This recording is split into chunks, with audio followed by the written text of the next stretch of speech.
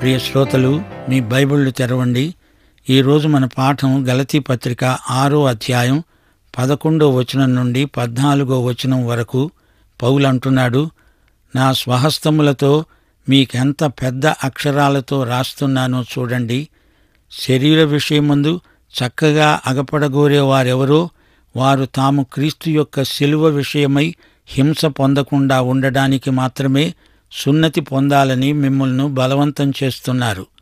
అయితే వారు సున్నతి పొందిన వారైనా ధర్మశాస్త్రమును ఆచరించరు. తాము మీ శరీర విషయమందు అతిశయించే నిమిత్తము మీరు సున్నతి పొందాలని కోరుతున్నారు. అయితే మన ప్రభు అయిన యేసుక్రీస్తు శిలువయందు తప్ప మరి దేనియందు అతిశయించడము నాకు దూరమగునుగాక దానివలన నాకు లోకము లోకానికి నేను సిలువ వేయబడి ఉన్నాము. ప్రియ శ్రోతలు పౌలు ఈ పత్రిక ముగింపులో ఏమంటున్నాడో విన్నారా? తాను స్వహస్తంతో ఈ ఉత్తరం రాశాడు. పెద్ద అక్షరాలతో రాశాడు. ఈ యూదామతవాదులు మీరు సున్నతి పొందాలని బలవంతం చేస్తున్నారు.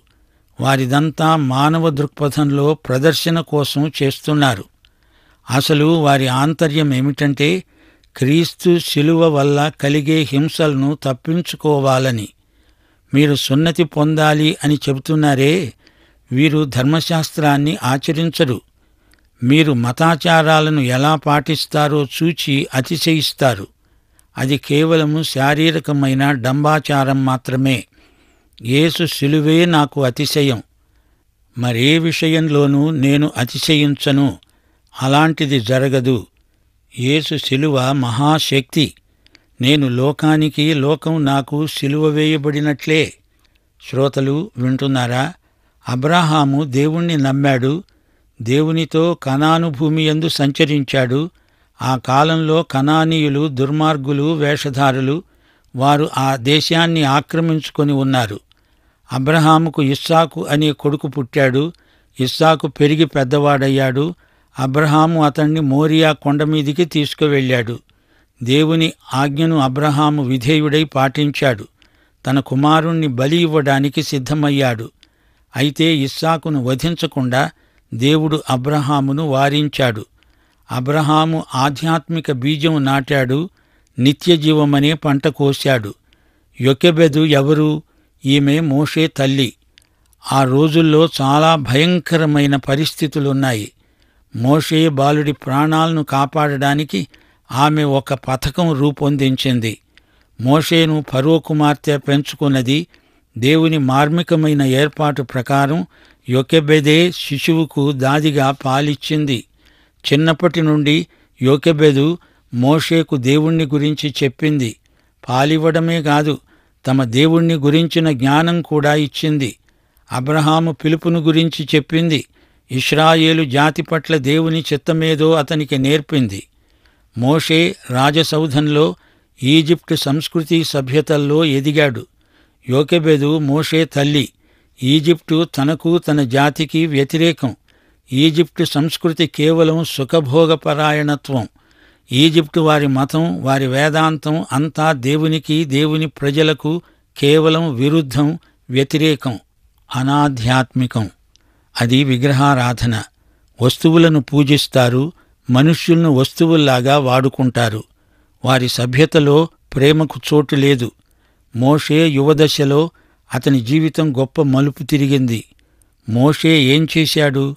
ఈజిప్టు పాపభోగాలకు వీడుకోలు చెప్పాడు. దేవుని ప్రజలతో తనను తాను సంయుక్తపరుచుకున్నాడు. యొకబెదు ఏమి విత్తిందో అదే పంట కోసింది.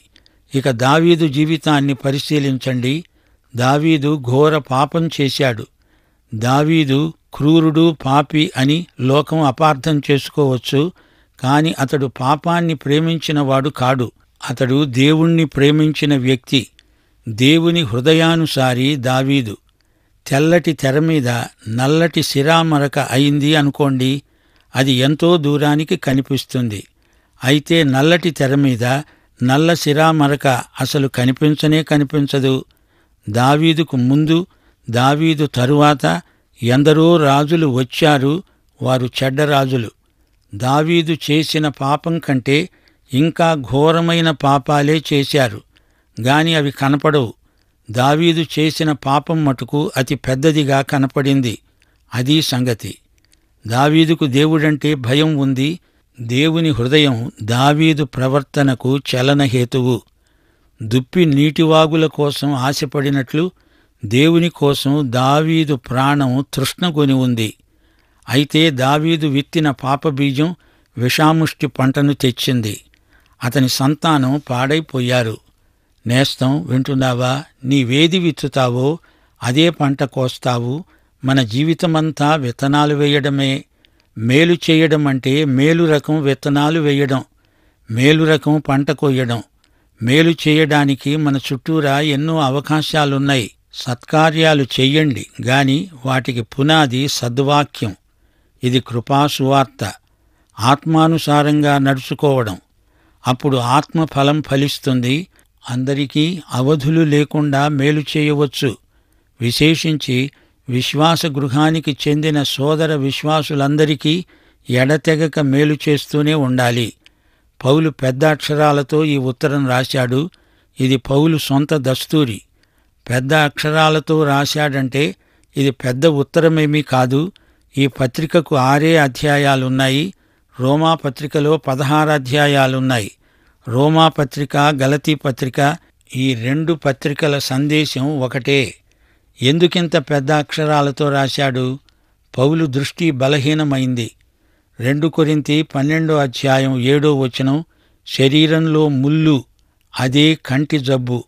నేత్ర బలహీనత గలతీ పత్రిక నాలుగో అధ్యాయం పదిహేనో వచనంలో పౌలన్నాడు శక్యమైతే మీ కన్నులు ఊడబీకి నాకిచ్చివేసి ఉండేవారని మీ పక్షమున సాక్ష్యం పలుకుతున్నాను.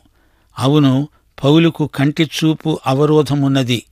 దమస్కు మార్గంలో పరలోకపు వెలుగు అతన్ని కొట్టినప్పుడు ఈ ప్రమాదం కలిగి ఉండవచ్చు.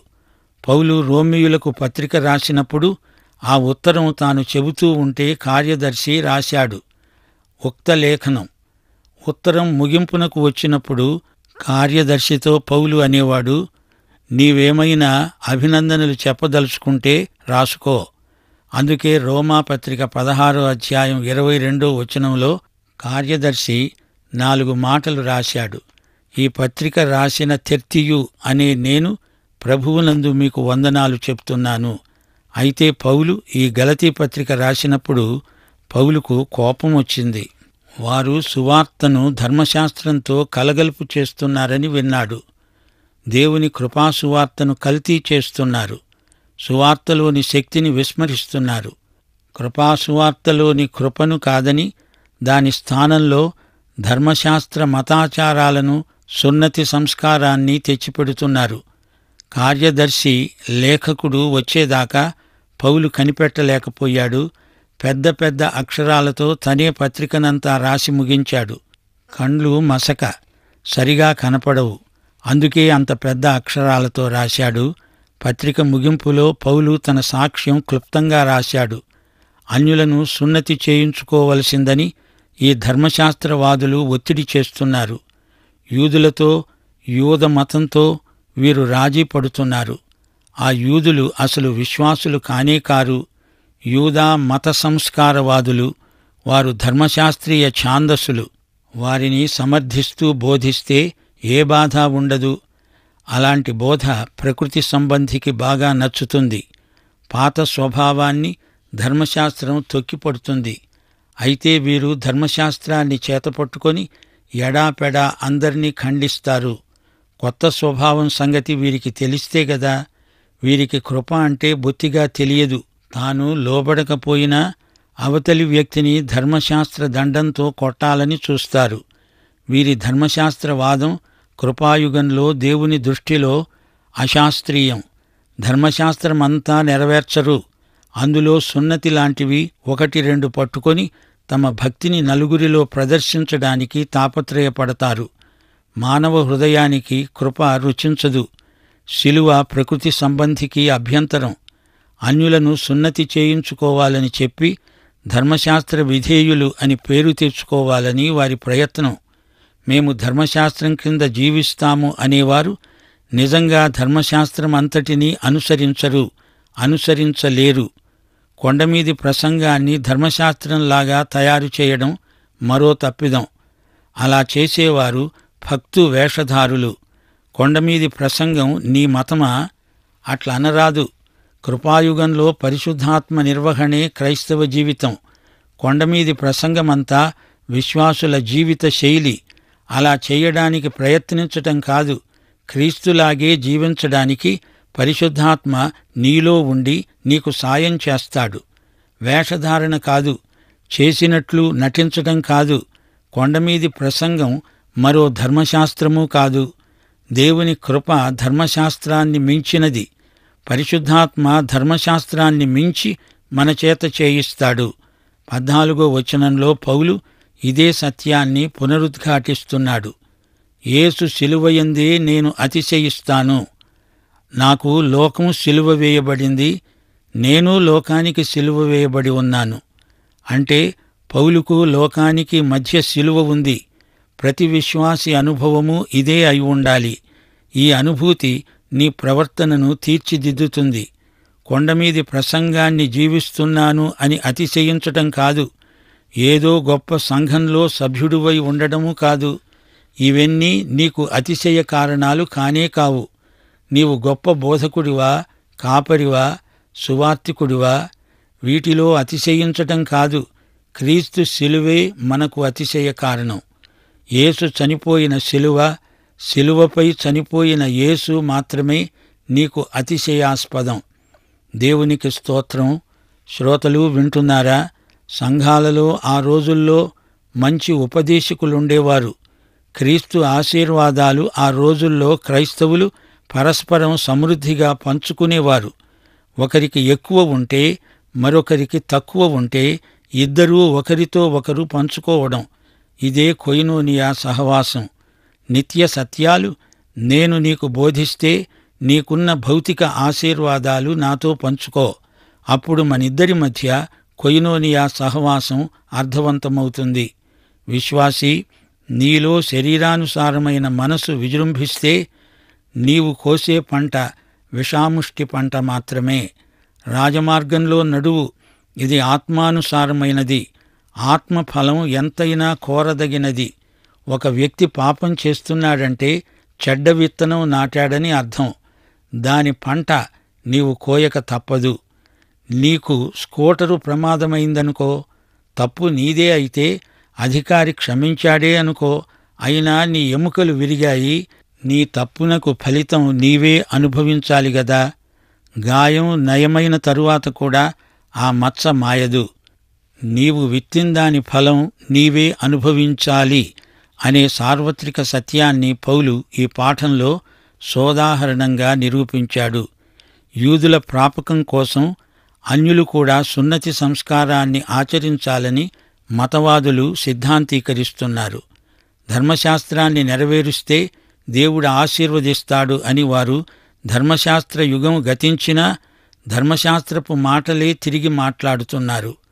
మానవుడి ప్రయాస ప్రయత్నము రక్షణ మార్గము కాజాలవు. పౌలు వారికి సిలువను చూపుతున్నాడు. రక్షణ కోసం మీరు పడే ప్రయాస అంతా వృధా. రక్షణ ఉచిత కృప. నీ విశ్వాసము దేవుని కృప రక్షణలో కలుసుకుంటాయి. గలతీ పత్రిక ఆరో అధ్యాయం పన్నెండో వచనంలో పౌలు కొందరిని ఉద్దేశించి వారు శరీర విషయమందు చక్కగా అగపడగోరుతారు అన్నాడు. అంటే ఏమిటి? అంటే శరీరమును శరీరానుసారమైన మనస్సును ప్రదర్శించగోరేవారు. అంటే బాహిరమైన ఆచారకాండను చూపి అతిశయపడేవారు. వీరు ధర్మశాస్త్రవాదులు. యూదా మత సంస్కారాలతో అతిశయించేవారు. వారికి తమ ఘనత ఎందే ఎక్కువ ఆసక్తి. మతంలోని బాహిర ప్రదర్శన మాత్రమే వారికి ఇష్టం. వీరిని సున్నతి సంస్కారానికి ఒప్పిస్తే తాము గెలిచినట్లే. అదే వారి అతిశయం.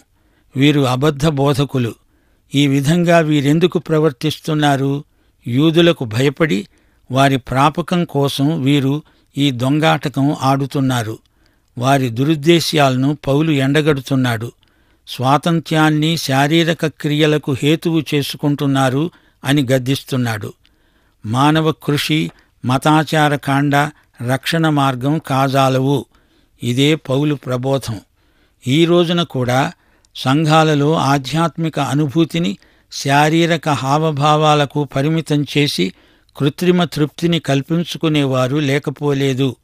ఆత్మ సత్యము ఈ రెండిటికి శారీరక అభినయం ప్రత్యామ్నాయం కాదు. ఆరాధన అంటే దేవుని స్వభావాన్ని పంచుకోవడం ఇందులోనే ఆత్మకు తృప్తి. క్రీస్తు శిలువ వల్ల కలిగే అభ్యంతరాన్ని తప్పించుకునే ప్రయత్నం చేయకండి. మతవాదులతో రాజీ పడకండి. క్రీస్తును ఆయన ఉచిత కృపను యూదులు వ్యతిరేకిస్తున్నారు. ధర్మశాస్త్రీయ మతాచారమైన సున్నతిని అడ్డం పెడితే యూదులు సమ్మతిస్తారు. అందుకే ఈ యూద మతవాదులు అన్యులకు సున్నతి అవసరమని బలవంతం చేస్తున్నారు. పౌలు వారి చేష్టలను గర్హించాడు. యేసు శిలువే నా అతిశయం అంటూ పౌలు తన అనుభవ సాక్ష్యాన్ని వారికి వినిపించాడు. పౌలు హృదయం నిండా యేసు యొక్క విమోచనాత్మక కృప ఉంది. మానవునికి దేవుని కృప పొందే అర్హత నిర్హేతుకమైనది. అందుచేత ఏ శరీరి అతిశయించడానికి ప్రభువు ఎదట ఏమీ లేదు. యాకోబు పత్రిక రెండో అధ్యాయం పదో వచనం ప్రకారం ఎవడైనా ధర్మశాస్త్రమంతా గైకొని ఒక్క ఆజ్ఞ విషయములో తప్పిపోయిన ఎడల ఆజ్ఞలన్నిటి విషయములో అపరాధి అవుతాడు. ఇక్కడ ఈ మతవాదులు సున్నతి అనే ఒక్క ఆజ్ఞను మాత్రమే పాటించి మిగతా వాటిని వదిలేస్తున్నారు. వారు వీరు ఒకటే కోవకు చెంది ఉన్నారు. శిలువ సందేశం గలతీ పత్రిక అంతటా పర్యాప్తమై ఉన్నది. ధర్మశాస్త్రము విషయమై మృతులము. క్రీస్తునందు దేవునికి సజీవులము. నాకు లోకము లోకానికి నేను సిలువ వేయబడి ఉన్నాము. ఈ ప్రక్రియ అంతా నిర్వహించేవాడు పరిశుద్ధాత్మే. నేను క్రీస్తుతో కూడా సిలువ వేయబడి ఉన్నాను. ఇక జీవించేవాణ్ణి నేను కాను క్రీస్తే నాయందు జీవిస్తున్నాడు. ఇది కూడా పరిశుద్ధాత్మ నిర్వహణే. క్రీస్తు సంబంధులు శరీరమును దాని ఇచ్ఛలతో దురాశలతో సిలువ వేసి ఉన్నారు. ఆత్మకార్యమే ఇది. సిలువ వేయబడిన క్రీస్తుతో మనలను మనం సంయుక్తపరచుకొని చూసుకుంటే అన్నీ మనకు కొత్తవిగా కనిపిస్తాయి.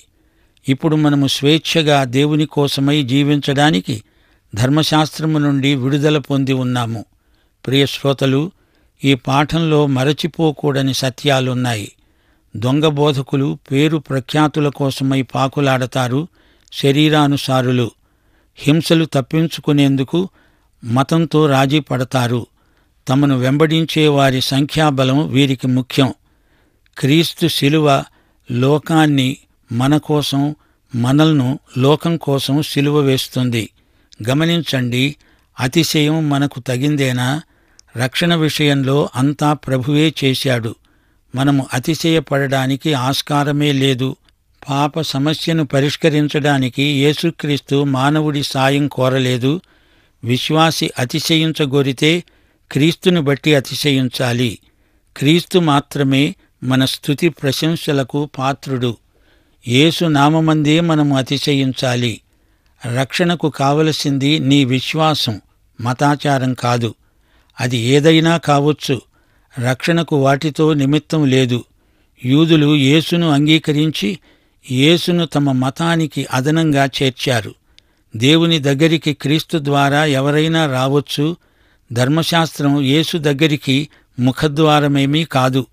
శరీరానుసారులైన మతబోధకులు కోరేదేమిటి? పేరు ప్రఖ్యాతులు. తమ అహమును పోషించుకుంటారు. సంఖ్యాబలం మీద ఆధారపడతారు. వీరికి కీర్తి కండూతి ఎక్కువ. తమ పదవిని జాగ్రత్తగా కాపాడుకుంటారు. అవకాశాల కోసం ఎదురు చూస్తారు ఎంతో కృషి చేస్తారు. ప్రజాకర్షణ కోసం నానాయాతన పడతారు. పౌలు గలతీ సంఘస్థుల పోకడలను పసికట్టి హితబోధ చేశాడు.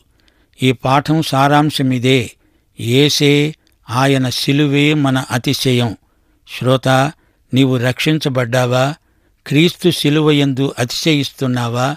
అయితే ఈ పాఠం ఈ సందేశం నీకోసమే దైవాశీస్సులు. ఆమె